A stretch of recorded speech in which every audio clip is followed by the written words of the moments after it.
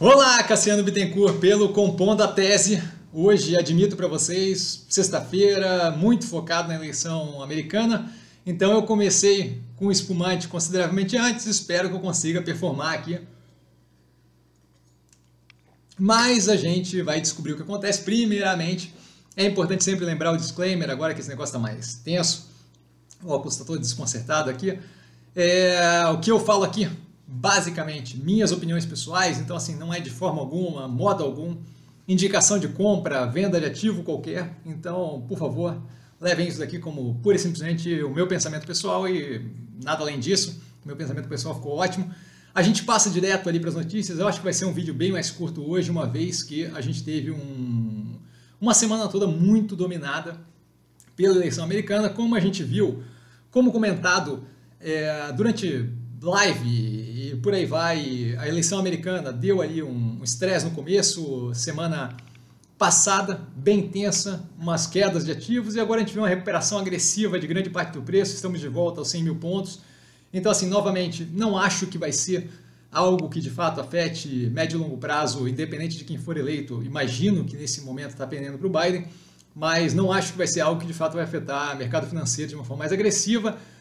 Com relação a notícias, a gente viu várias novidades para Minerva, que divulgou o resultado, vai pagar antecipação 25% dos 50% do lucro de nove meses, que é o dividendo, de acordo com os novos moldes, com endividamento abaixo de 2,5 vezes, e aí eu estou falando de dívida líquida sobre a EBITDA. A média diária de exportação de carne bovina in natura é, registrou aí recorde histórico quando a gente fala de exportação.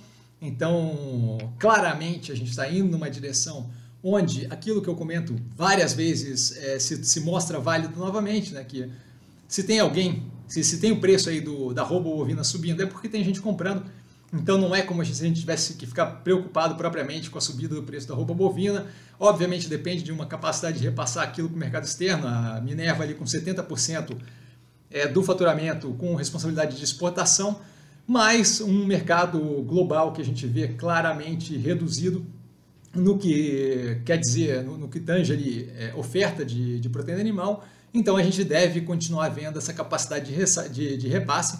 Tá? A Minerva também divulgou é, um acordo ali de joint venture, é, como eu falei inclusive no vídeo da análise, mas só para reforçar aqui, né, que é um ponto importante, é, o, o joint venture que eles estão tentando formalizar na China é mais um passo na direção correta.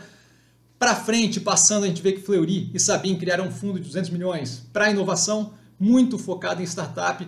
E aí a gente não vê só nesse caso, a Boticário também divulgou algo nessa, nessa direção de criar um programa de aceleração de startup e o que a gente vê é que há algum tempo empresas brasileiras estão fazendo todo um movimento bem positivo, diga-se de passagem, na direção de justamente ter um envolvimento ali com uso de empresas menores que tenham uma mobilidade maior para acelerar esse tipo de, de empreendimento, tá? talvez através de algo próximo ali de fundo de investimento, no caso da Fleury, ou venture capital no caso da Minerva, a gente vê elas corriqueiramente fazendo esse movimento, esse movimento que começou ali, é, não, não que começou, mas que tomou mais força ali com o cubo do Itaú, então é algo que vem corriqueiramente, eu espero que isso aconteça cada vez mais e acho que é um movimento muito interessante justamente adicionar, é, como é que eu vou dizer ali, operações mais magras, mais leves, tá? e que possam justamente é, colaborar aí em melhoria logística, melhoria operacional, melhoria de novas tecnologias. No caso da Minerva foi a Clara Foods,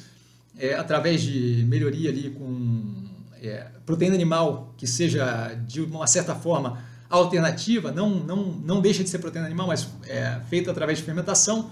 Tá?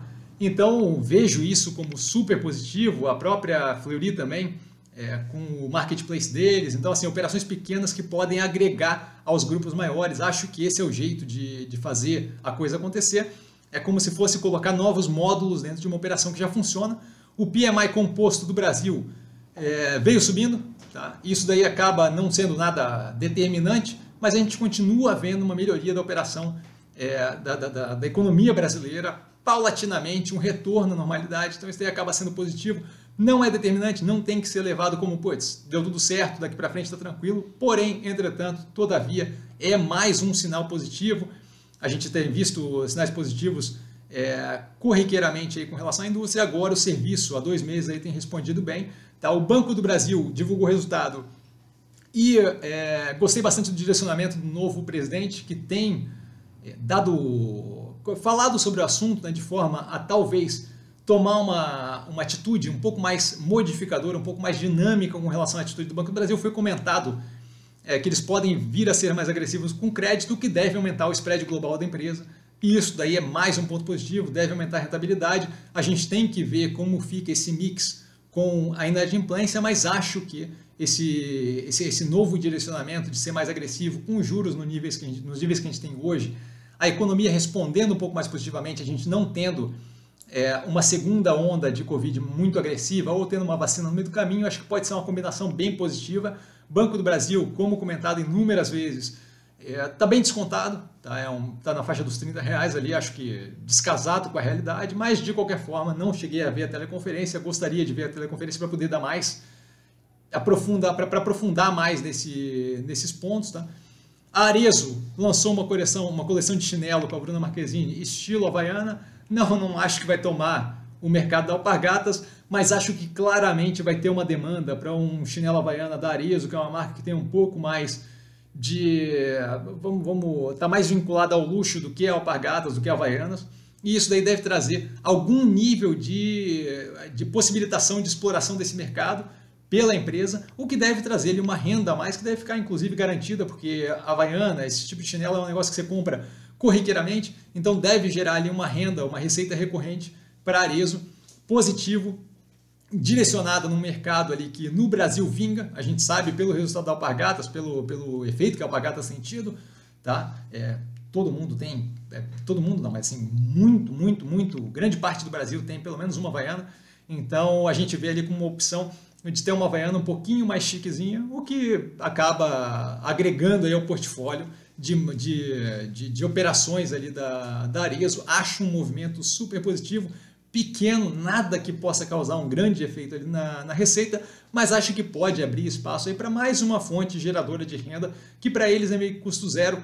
O, a prova de conceito, Proof of Concept, já foi feito pela Havaianas e o, tudo que a gente está fazendo é dando uma, uma emperequetada ali num produto que já é conhecido, reconhecido e, e, e super positivo, tá?